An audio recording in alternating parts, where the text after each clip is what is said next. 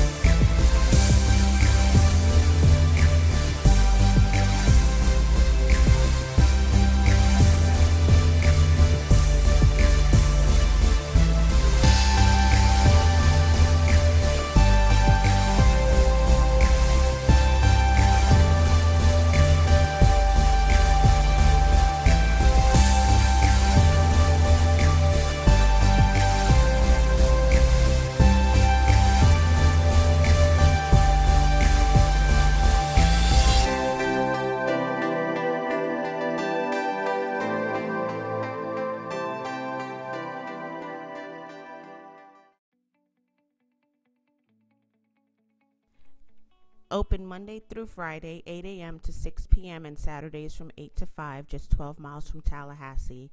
A pleasant drive out Centerville Road beneath the majestic canopy of oak trees and Spanish moss is Bradley's Country Store. Their trade tradition, plain and simple, is selling the best old fashioned country smoked and fresh sausage money can buy. If you're used to city shopping, you'll be in for a shocker when you stop in. The modest building stands just as it did in 1927, almost 100 years ago.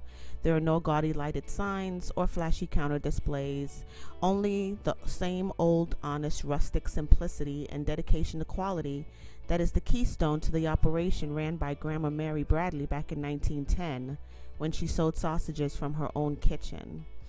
That tradition has endured through four generations of Bradley's family and still attracts thousands of customers from around the Southeast today.